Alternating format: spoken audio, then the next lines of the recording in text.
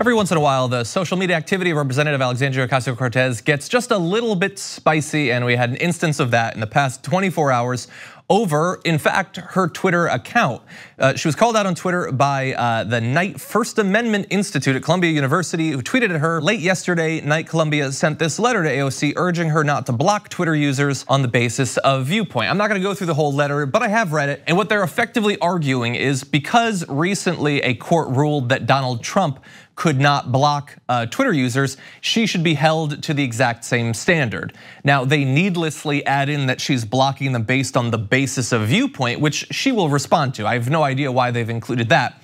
Um, and she would say that her at AOC account is not her official account. It's not her you know, representative account, it's her personal account, so she can do whatever she wants. Um, they don't accept that, and the court doesn't seem to either.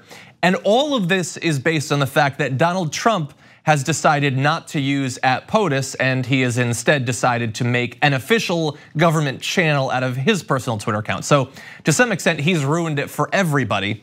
Um, but she did respond to what they said, tweeting, I have 5.2 million followers. Less than 20 accounts are blocked for ongoing harassment. Zero are my constituents. Number two, harassment is not a viewpoint. Some accounts like the Daily Caller posted fake nude photos of me and abused my comments to spread it. No one is entitled to abuse. And so I would add, you could say if she gets harassed, she could mute them. But the thing is, if someone is spreading fake information, violent rhetoric, sexual rhetoric like that outlet did when they decided to try to make money off of uh, fake nude photos of her, and they add her in it, she, whether she wants to or not, is not just being harassed, she is she has to be a part of the harassment. They are exploiting her to some extent by being able to tag her in that.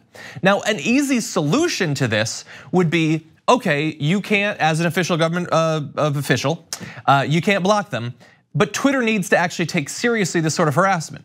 That's not the world we live in though. Unfortunately, Twitter is not gonna take this sort of thing seriously and women, especially in media and politics, entertainment, they are harassed brutally and there's almost never any consequences. So that's the world we actually live in. As she goes on to say, people are free to speak whatever classist, racist, false, misogynistic, bigoted comments they'd like. They do not have the right to force others to endure their harassment and abuse. And I think that we can all understand that sentiment.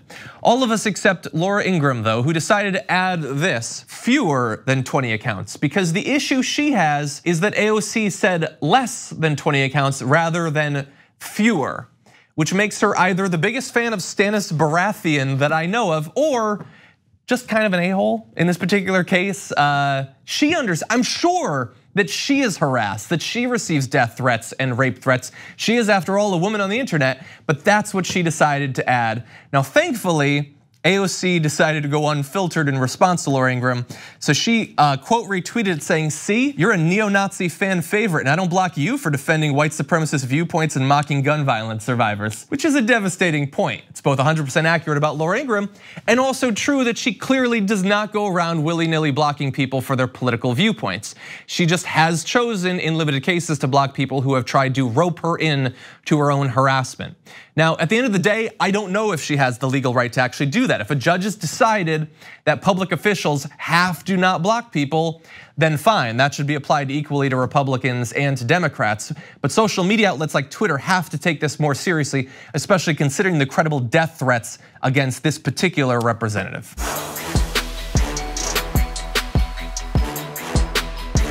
Check out the Damage Report podcast each day, wherever you get your podcasts, whether Pocket Casts or Stitcher or iTunes. You can join me as I give you the news and stories you want with a range of co-hosts and interview guests jumping in on the fun each day. Again, that's the Damage Report, wherever you get your podcasts. And if you get them at iTunes, don't forget to rate and review. Sometimes I'll read them live on the show.